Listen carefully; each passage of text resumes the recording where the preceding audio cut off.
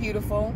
I'm actually on my way home from church right now, and as I'm driving, my mind is just thinking about different things. And one of those things that came across my mind, and this this came across my mind for a reason because there were some things that just happened, but I realized that, and this is not a new revelation. This is something that I've thought about before, I've known about, but it just hit me just now again because of recent things. But there are some people that they say that they desire help. They say that they want people to support them. They need somebody to encourage them. They need prayer. They need all of these different things. They need people. They need community. And they want these things. But oftentimes, these are the same people that when you reach out to them, when you extend your hand to them, when you call to support them, when you say, hey, whatever it is that you need, I got you, and you genuinely mean it, and you follow up with them to say, hey, hadn't heard from you. I know you said you needed help from me. I know you needed my support. I know you wanted me to pray for you. I know you wanted to build community, and you reach out to them and you extend what they say that they needed. A lot of times, those are the same people who really don't want to receive help. Like it sounds good when you're saying it. It sounds good in the moment to say, I need help. I want help. I want community. I want support. I want healthy relationships. It sounds good when they're saying it. But when it's time for them to receive that and it requires any type of action on their part, like you got to show up you got to actually meet people and say, okay, you know what? I said I needed this support, so I'm going to come and you're meeting me where I am. A lot of people don't show up.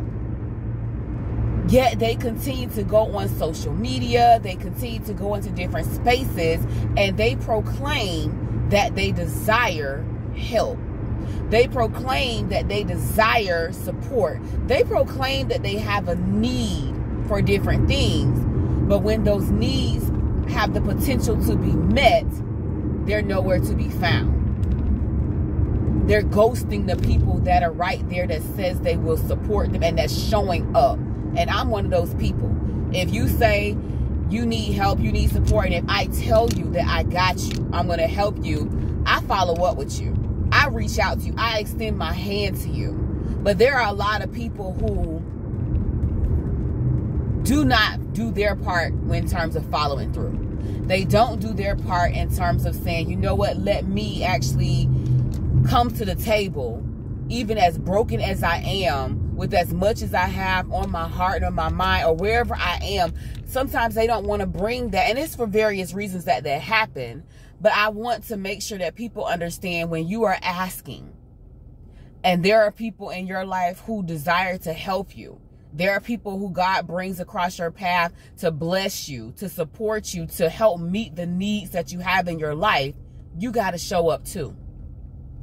You got to be willing to receive the help that God sends. You got to be willing to say, you know what, I'm going to do what God has asked me to do. I'm going to meet these people. I'm going to talk to these people. I'm going to do these things because when you sit in a space and constantly say, I need, I need, help me, help me, help me, and people are showing up for you and people are coming to you and they're right there, they're ready to support you, you have to do your part. I know sometimes fear creeps in. I know sometimes imposter syndrome creeps in. I know sometimes we feel like we are so broken, so hurt, and going through so many different things. I know sometimes you feel like you may be judged and somebody may think differently of you because of your situation, because of what you may share with them. But you got to know that there are also people who do not stand in judgment of you. There are also some people out there who not looking to get anything from you in return. They're looking looking just to help you. They're looking just to bless you. They're looking just to support you. They're looking to do what God has instructed them to do. They're looking to be used as vessels to bless other people. So don't miss your blessings because you are so caught up in I don't want to be perceived a certain way. I don't want to be judged. I'm afraid. I have imposter syndrome. I'm not all the way together. I'm still broken. I still have all these different things that are going on in my life. I don't know how I can even share a lot of the things that I have going on in my life with somebody else because they may think differently of me or they may judge me or whatever the case may be, whatever the hang up is. You got to let that stuff go if you really and truly need help and you're asking God to send you help, don't dismiss what he sends you. Don't dismiss what he sends you because that happens too much with a lot of people. I've had three different people that I need help, I need help. And I'm like, okay, cool, I got you. I even shared some information with them. We scheduled times to meet. And with these same three people, every time that we were scheduled to meet, every time it was time for them to actually do something, they were nowhere to be found they resurface again and say, well, you know what? You know, I had such and such happen or this happened. And I understand, I give grace. I definitely do. I give grace because stuff does happen. Life be life in at times. But when it's consistent, that every time it gets to the point where it's time for you to move, it's time for you to do, it's time for you to act, it's time for you to actually start implementing some changes in your life, some action needs to happen on your part. If every time that that is the case, when you're right there at the brink of when it's time for you to do something, you step back, you go ghost, you disappear. That person doesn't hear from you. They don't see you until all of a sudden again you're back into what well, I, you know i had this time you're making excuses. You're making excuses so you have to make it to the point in your life where you say, I'm making up my mind that I want to change. I want to see transformation. I want to receive support. I want to receive help. I want to be blessed. I want to have exactly what I need. I want all these things that I'm praying and I'm asking God for. I really and truly desire these things. You have to get to the place in your life where you're willing to do the work. You're willing to show up for yourself. You're willing to say, you know what? Let me allow myself to be blessed let me allow myself to have the people in my life that are going to support me, that are going to help me, that are going to encourage and empower me, but they're also going to challenge me. And that's the thing I think also that scares people is sometimes people are afraid that what is being asked of them is too much. What is being asked of them, they're not capable of doing. What is being asked of them is going to require them to sacrifice or to give up too many things. And so they don't desire to have that. They don't desire to be in that space where it's going to require them to give up some things or some people. It's going to require them to actually spend time working on themselves, spend time doing the things that needs to be done in order for them to have the change or the transformation that they say they desire to have.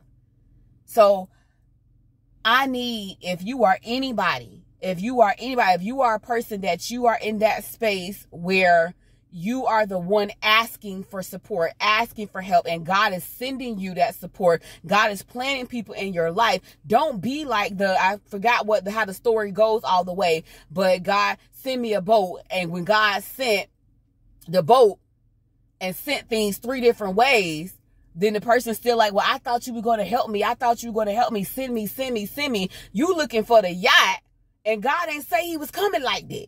God didn't say he was going to pull up that way in your life. You got to be ready for however God is going to send that help. However God is going to open the door. However God is going to change your life. You have to be ready.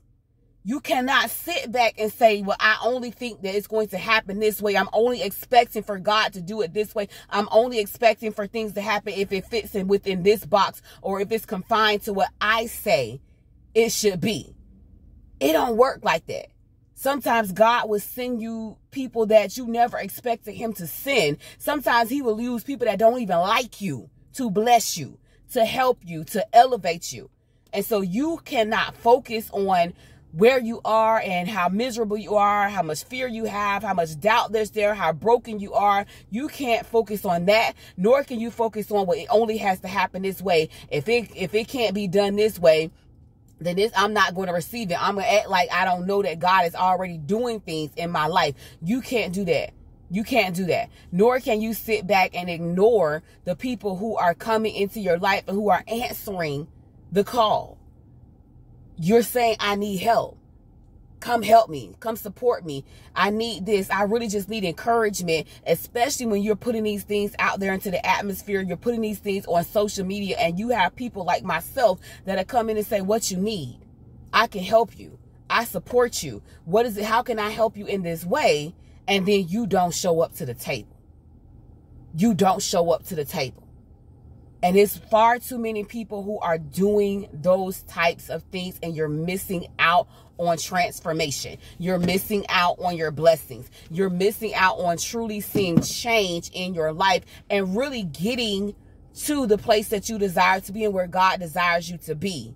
But so if you really want that, you can't be afraid. You can't be afraid. You got to let that fear go. You got to let all the things go that are holding you back from getting to the next level in your life.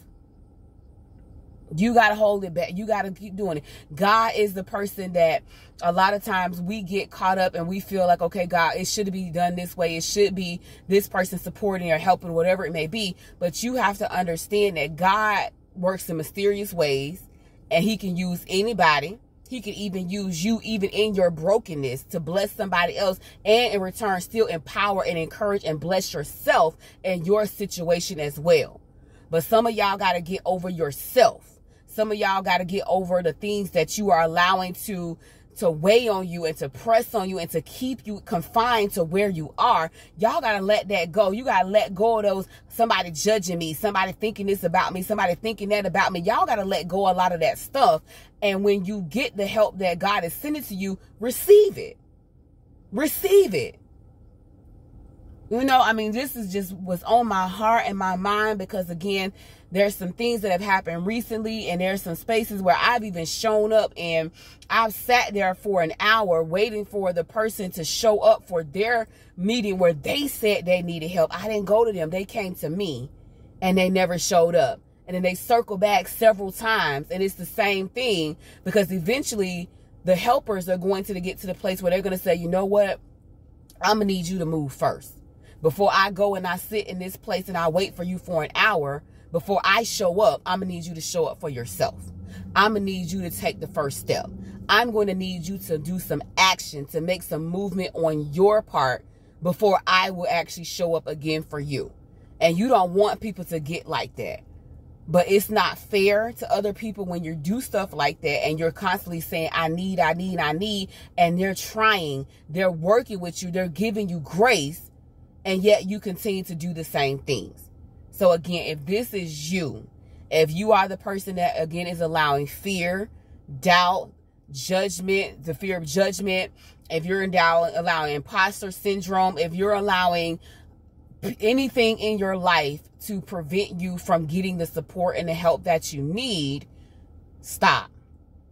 Because if you really want change, because there are some people that say they want it and they really and truly don't want it, they're comfortable with misery. They're comfortable with misery. They're comfortable being miserable. I'm not talking to those people. I'm talking to people that you really, really want it, but you're allowing certain things to get into your head to prevent you from taking the next step.